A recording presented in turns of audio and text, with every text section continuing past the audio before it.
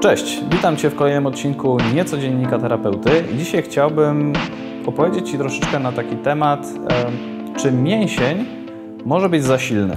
Dlatego, że czasami spotykamy się jako terapeuci z takim określeniem, że przez to, że jakiś mięsień albo jakiś obszar ciała jest za silny, to dochodzi do problemów. Na przykład u pań spotkałem się z taką sytuacją, że e, podobnież mięśnie dna miednicy, które są za silne, mogą spowodować to, e, że pojawiają się problemy przy porodzie, e, że pojawiają się problemy z nietrzymaniem moczu. Z kolei u osób powiedzmy bardziej aktywnych fizycznie mogą się pojawiać problemy z tym, że jakaś grupa mięśniowa dominuje nad inną, przez to, że jest za silna, to na przykład będzie nam ściągała gdzieś rzepkę do boku, no i będzie to wywoływało oczywiście znany e, konflikt bocznego przyparcia rzepki. No i tutaj oczywiście można by było takie, takie sytuacje mnożyć.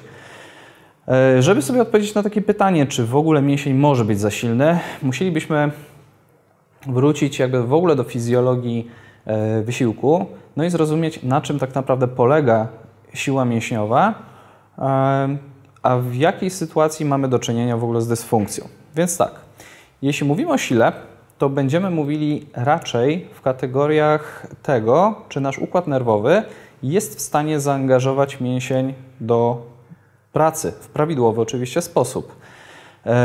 Jest to po części związane z masą danego e, mięśnia. Jeśli mamy po prostu większe te jednostki motoryczne, no to one mogą wygenerować troszeczkę więcej siły, ale nie ma tutaj takiej bardzo ścisłej e, korelacji między jednym a drugim, dlatego że siła jest, no właśnie tak jak wcześniej wspomniałem, raczej zdolnością do zaangażowania tego, co my też już mamy.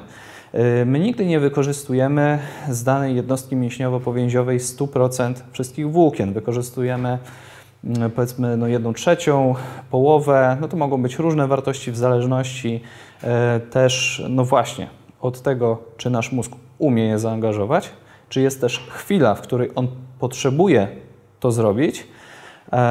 No i oczywiście, jaki my też mamy wzorzec ruchowy, dlatego że im lepszy jest ten wzorzec, tym bardziej w sposób ekonomiczny i ergonomiczny możemy e, tak wprawić e, w ruch nasze ciało, no że tej siły efektywnie, obiektywnie będzie po prostu więcej. Więc siła będzie tutaj raczej wypadkową tych dwóch rzeczy, e, po części masy mięśniowej i po części po prostu działania naszego układu nerwowego, jego zaangażowania e, w sam proces. Jeśli mówimy stricte o sile, no to nie będziemy tutaj mieli tak naprawdę nigdy na myśli nic e, patologicznego, tak? Dlatego, że jakby zwrócę jeszcze raz uwagę na to, że użyłem tam słowa prawidłowy, tak? że nasz układ nerwowy w prawidłowy sposób angażuje e, jednostkę motoryczną. Jest w stanie to zrobić szybko, wydajnie, ekonomicznie, w dobrym wzorcu.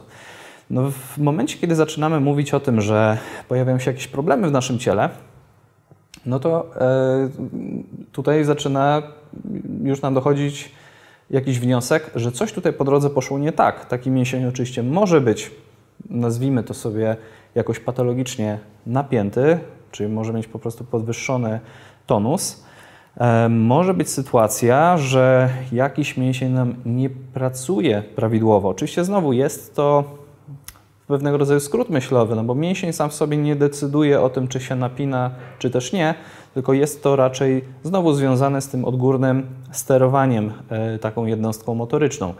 Także kiedy ktoś używa takiego określenia, że e, jakiś problem jest spowodowany tym, że te mięśnie są nadmiernie napięte, czy też mają nieprawidłową tą toniczność swoją, to nie jest to tożsame z samą siłą mięśniową. Tak? Także jest to generalnie mylenie y, pojęć, czasami bardzo duży i też krzywdzący y, skrót myślowy, y, dlatego że część osób może po prostu bać się rozbudowywać siłę mięśniową, no właśnie z racji samego mm, strachu, jakiejś obawy o to, że może to spowodować pewnego rodzaju problem. Zatem jeszcze pokrótce o samej sile mięśniowej. Dlaczego na tym nam powinno zależeć? Nam jako terapeutom, ale tak naprawdę wszystkim ludziom, łącznie z naszymi oczywiście pacjentami.